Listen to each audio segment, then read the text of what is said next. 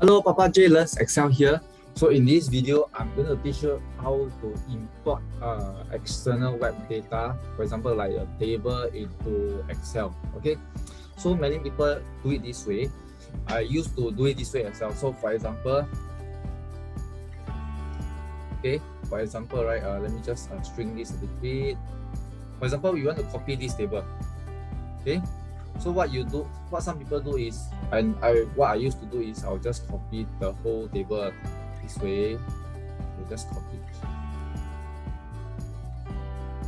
Copy the whole table this way.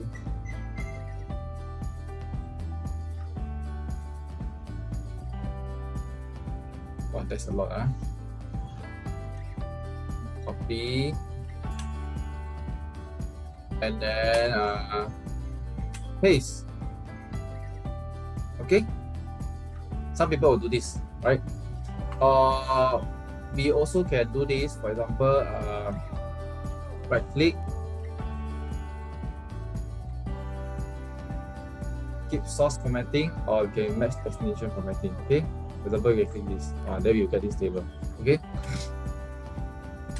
but you will find that uh, it's not that ideal.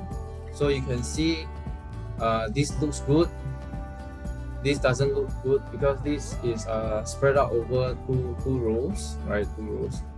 Uh, so maybe this is something that we do not want. Okay, some that looks okay. Okay, yeah. So for example, in this, maybe you don't want it to be in three rows. You want it to be one row, right? Okay, so you can do. So this is uh, not a very good way. Okay. Okay. So another method that you can use, right? So like for example, if you use this method, there's there's an empty row over here. And if you want to use it as a table let me just uh, adjust a bit more. So for example you can use this as a, as a table. Right? It's not the ideal right? It's not the ideal. So what you can do is you can go to data and you click from web.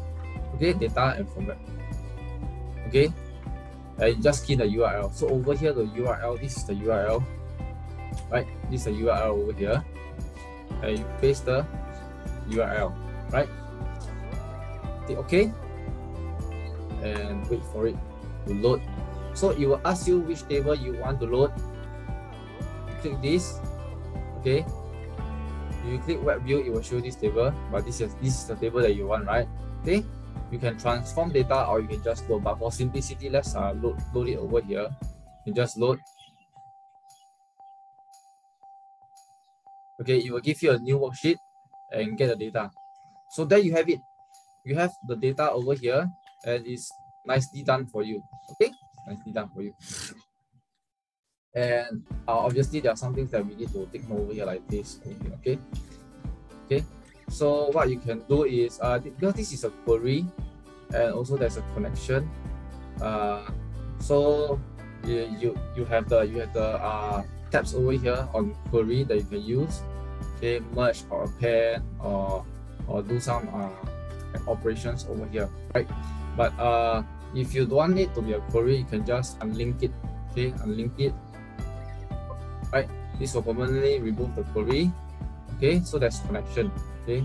So you can go to uh,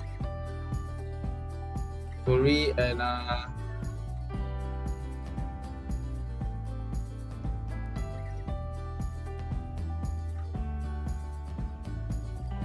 delete. Okay can just delete. Delete from the connection right? So it's just a table but it's still it's still a table it's still a table okay? So if you want this to be a table you just click convert to range. And there you have it you convert to range. And if you want it to be a normal table just go to home uh, cell styles and uh, normal. There you have it. Yes. Okay. So that's it for this video on how to export uh, external table into excel. Okay. Papa Jay Learns excel here. Uh, don't forget to subscribe this video if you liked it. I will do more videos. Thank you very much. Thank you and see you in the next video. Bye